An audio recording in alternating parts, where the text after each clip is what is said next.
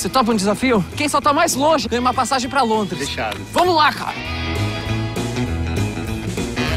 Que é sua concorrente, tá?